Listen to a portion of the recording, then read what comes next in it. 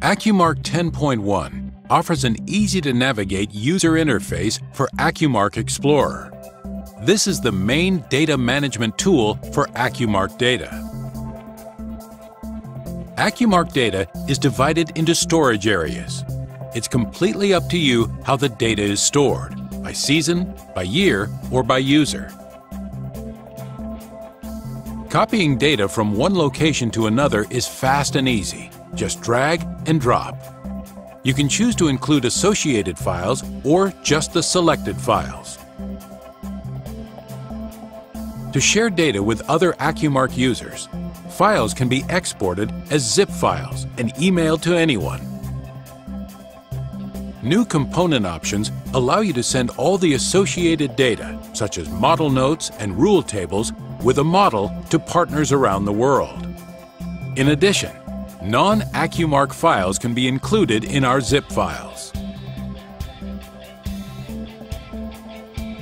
To share data with other CAD systems, use our data conversion utility to send out files in many different formats, like industry standard ASTM DXF files.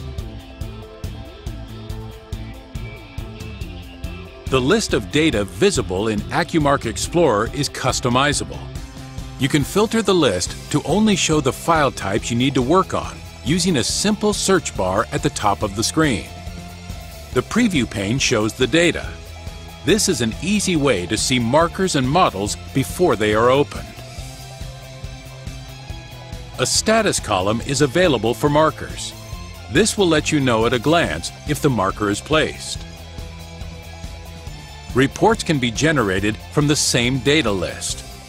Here, we are selecting several markers and generating reports.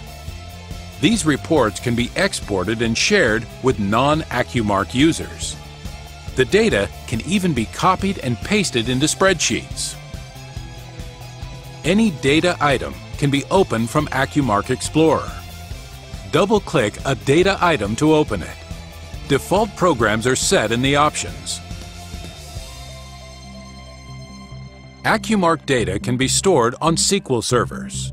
SQL offers users easier data maintenance and the ability to create subfolders within storage areas. This can help with organizing large amounts of data. SQL storage areas are used the same way as our original storage areas.